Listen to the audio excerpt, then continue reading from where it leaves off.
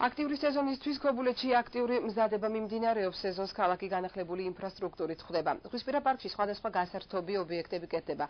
საინტერესო ტურები მომზადდა მათვისაც, ვისაც ზღვაზე გარუჯვის შემდეგ ბუნებაში დასვენების სურვილით გაუჩნდება. ბევრმა მათგანმა სასტუმროებში ნომრები წინასწარ დაჯაშნა. ქობულეთში ტურისტული სეზონის სამზადისის შესახებ კეთი ჭყონია მოგიამბობთ. ნუნუ ცეცხლაძემ დამსვენებელთა პირველი 14 კაციანი ჯგუფი ერევნიდან უკვე მიიღო. კერძო საოჯახო ტიპის სასტუმრო, სადაც 23 ოთახია, შარშან მთელი სეზონის განმავლობაში გადაწვირთული იყო. იმედი აქვს, რომ დამსვენებლები წელსაც ბლომად ეყოლებათ. სეზონი თითქმის უკვე დაიწყო, პირველი ჯგუფი ერევნიდან უკვე მივიღეთ. ველოდებით შემდეგ ჯგუფებს. ვფიქრობ, რომ წლევანდელი სეზონი გაცილებით უკეთეს და აქტიური იქნება გასულ წლებთან შედარებით. приехали из Еревана с танцевальной группой. ქობულეთში პირველად ვართ ერევნიდან 2 დღის წინ ჩამოვედით. ძალიან გვინდოდა ზღვისპირა რეგიონის ნახვა. აქაურობით მოხიბლული ვართ. საოცარი ჰავაა. აქ ძალიან სტუმართმოყვარე ხალხი ცხოვრობს, როცა აქედან ერევანში დაუბრუნდებით, აუცილებლად ჩვენს მეგობრებსაც გამოვუშვით. მეგრელიძეების საოჯახო სასტუმროში შარშან ტურისტების უმრავლესობა მეზობელი სომხეთიდან მიიღეს.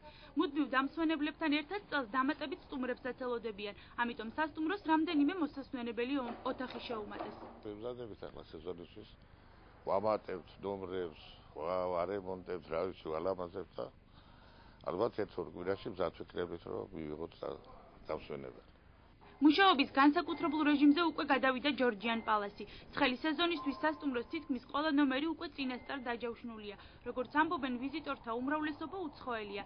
განსაკუთრებული მოთხოვნა კი ბათუმში ჯაზ ფესტივალის ჩატარების პერიოდს უკავშირდება. ამის პროგნოზის საფუძველზე შეგვიძლია ვთქვათ, რომ წარმატებული სეზონი გვექნება, როგორც შარშან წელს უფრო მეტ ველოდებით, ჯავშნებიც უკვე არის საძებულოდ გაკეთებული, განსაკუთრებულად მოთხოვნა არის ჯაზ ფესტივალის პერიოდისთვის და ივლისი-აგვისტო საკმაოდ დიდი დატვირთვითი მუშაობებს ასწავლის.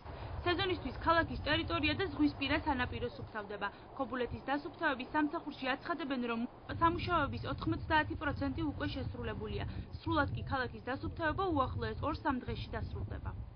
მიმდინარეობს ბოლო შტრიხები დასუფთავების, რასაც ალბათ უახლოეს 2 ან 3 დღის განმავლობაში თითქმის დავამთავრებთ და ჩვენ მზად ვართ ტურისტების მისაღებად. ატრაქციონების რეკონსტრუქცია, პარკის სავალი ნაწილის მოწესრიგება და დეკორატიული საფარის განახლება. ქობულეთის ზღვისპირა პარკში ჩამოსულ ტურისტებს მოწესრიგებული ინფრასტრუქტურა დახვდება.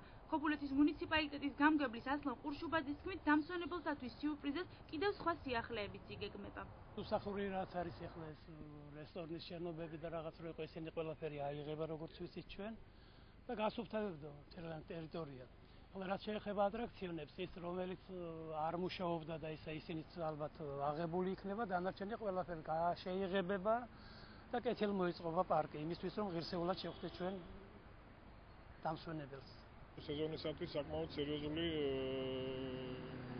პრობლემები, რომელიც გას გადაწყვეტილი იქნება ამასთან იქნება სხვადასხვა კულტურული ღონისძიებები, რომელიც ვინდა ცოტა ისე დავტოვო და სურპრიზად შევთავაზოთ დასვენებლებს სეზონისთვის.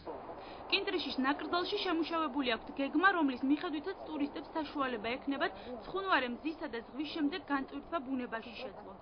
დასულ ტერიტორიაზე ვიზიტორებს ბუნების წიაღში ფეხით სეირნობის გარდა საცხენოსნო ბილიკით სარგებლობა შეეძლებათ.